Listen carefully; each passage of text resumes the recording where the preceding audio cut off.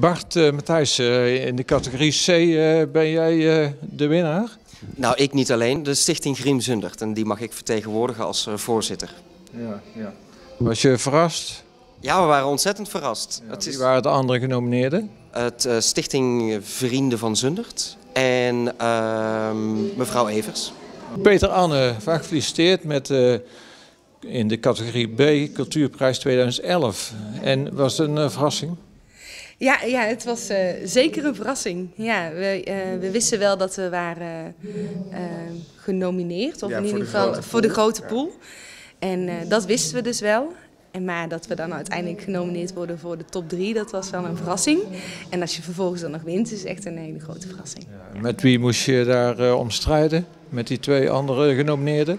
met Stichting Beeldend Centrum en met Jeugd ja. Korenfestival in Rijsberg. Dank u wel prijs uit te mogen reiken. En er zit tevens een cheque bij van 500 euro.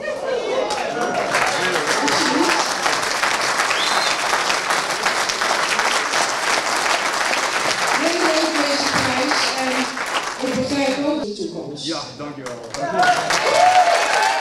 Edward Bastiaanse wint de cultuurprijs in de categorie A, cultureel beoefenaar.